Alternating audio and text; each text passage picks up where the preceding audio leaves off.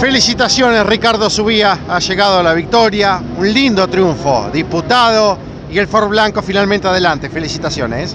Bueno, buen día, la verdad que contento, era lo que, lo que por el gran auto que me entregó el equipo, tenía que hacer esto y bueno, por suerte se dio y lo logramos, hacer el 1, ganar la clasifica, ganar la final, después de un choque que habíamos tenido, recuperamos el auto y estamos acá. ¿Cómo fue la final? ¿Cómo transcurrió hasta cruzar la meta en primer lugar, Ricardo?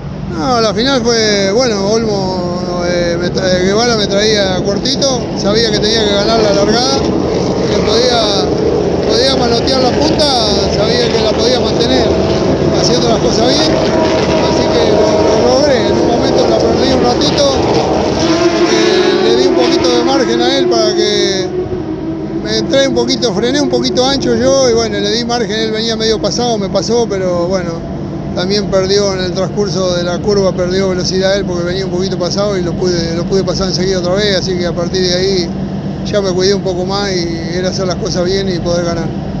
Disfrutar y felicitaciones. Bueno, ya muchísimas gracias, agradecer a mi equipo, a Gustavo Aguirre, a Di Natale, al dueño del auto Jorge Carrano, a toda la gente que anda conmigo, a Bubi, a José, a, a todas las publicidades, ya muchísimas gracias.